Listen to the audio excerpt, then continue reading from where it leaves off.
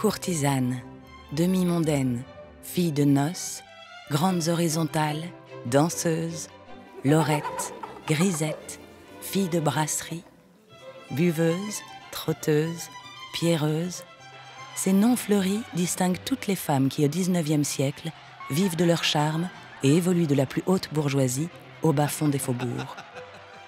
Elles vont parfois jusqu'à se confondre avec d'honnêtes bourgeoises.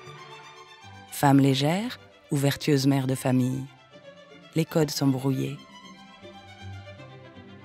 Quel paradoxe C'est en effet sous le Second Empire corseté, obsédé par la vertu, que le phénomène de la prostitution prend une ampleur inégalée.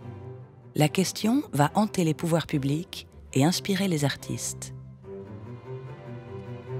Les peintres fréquentent depuis longtemps les filles de joie, les seules femmes à accepter de poser nues, et multiplient les scènes avec ces femmes légères. Est-ce parce que la prostitution est un phénomène social omniprésent? Est-ce pour révéler la face cachée d'une société hypocrite? Pour briser des tabous? Ou pour inventer des formes nouvelles de représentation? Du milieu du XIXe siècle au début du XXe, sous le Second Empire et la Troisième République, à chaque décennie, de nouveaux scandales éclatent dans le monde de l'art liés à la représentation de l'amour vénal.